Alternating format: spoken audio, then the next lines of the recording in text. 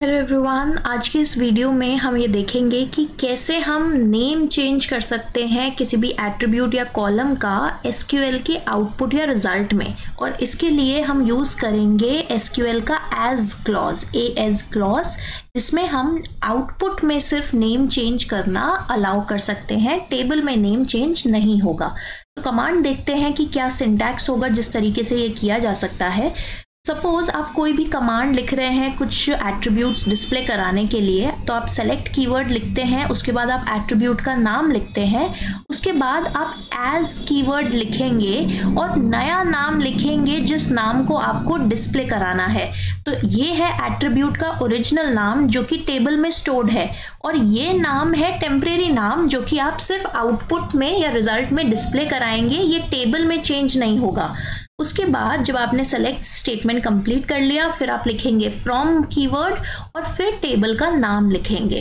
तो सपोज़ हमारे पास एक एम्प्लॉय टेबल है, जिसमें से हम एम्प्लॉय के नंबर्स या एम्प्लॉय आईडीज को डिस्प्ले कराना चाहते हैं। बट इस E M P N O की जगह हम कंप्लीट एम्प्लॉय नंबर डिस्प्ले कराना चाहते हैं, जब हम आउटपुट दिखा रहे हैं यूज़र को। तो उस केस में हम क्या करेंगे? अगर सिर्फ़ यही कॉलम डिस्प्ले कराना है तो कमांड कुछ इस तरीके से होगी। सेलेक्ट एम्प नेम मतलब इस एट्रीब्यूट को सेलेक्ट करो फ्रॉम एम्प्लॉय टेबल लेकिन इस एम्प एनओ को किस तरीके से डिस्प्ले करो? एम्प्लॉय नंबर तो सारे एम्प्लॉय नंबर्स आपको विजिबल होंगे, लेकिन आउटपुट में जो एट्रीब्यूट का नाम दिखाई देगा, वो ये वाला दिखाई देगा जो आपने एज क्लॉज के बाद लिखा है। ठीक है?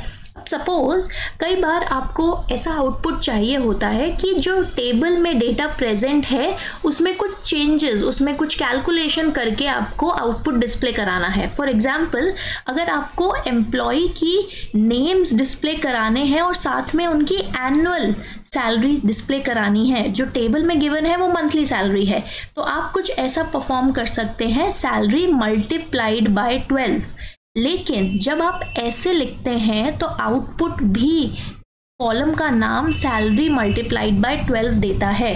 अगर इस तरीके से आउटपुट आपको एक्सेप्टेबल नहीं है, आप चाहते हैं कि इसका कुछ बेटर नाम दिया जाए तो यहाँ पे सैलरी मल्टीप्लाइड बाय ट्वेल्व के बाद भी आप एज कीवर्ड यूज़ करके एक नया नाम स्पेसिफाई कर सकते हैं। कुछ इस तरीके से। तो सबसे पहले हमने कॉलम दो कॉलम सेलेक्ट करे हैं। ई नेम सेलेक्ट किया है, जिसको हम आउटपुट में नेम की तरह डिस्प्ले कराएँगे। और हमने सैलरी 12 मंथ्स की डिस्प्ले करी है, जिसको हम आउटपुट में एनुअल इनकम के नाम से डिस्प्ले कराएँगे। और ये दोनों ही एट्रीब्यूट्स एम्प्लॉय टेबल के हैं। तो अब आउटपुट में आपको चेंजेस दिख रहे होंगे। ये वही कॉलम है। वैल्यू सारी सेम है। सैलरी मल्टीप्लाइड बाई ट्वेल्व की ही। बट इसका नाम हम, हमने चेंज कर दिया है। तो आई होप आपको ये कॉन्सेप्ट समझ आ गया होगा कि कैसे हम एज क्लॉज यूज़ किया जाता है, ये कैसे हम यूज़ करते हैं। कोई भी डाउट्स है तो आप हमसे कमेंट सेक्शन में पूछ सकते हैं। अगर आपको कोई पर्टिकुलर टॉपिक पढ़ना है एस या किसी भी कंप्यूटर साइंस सब्जेक्ट का, आप वो भी हमें बता सकते हैं। अगर वीडियो आपको समझ आया हो तो प्लीज़ लाइक कीजिए इस वीडियो को शेयर कीजिए अपने फ्रेंड्स के साथ और चैनल को सब्सक्राइब कीजिए बाकी सारे ऐसे ट्यूटोरियल्स के लिए। Thank you for watching. Till we meet in the next video, mind your exam.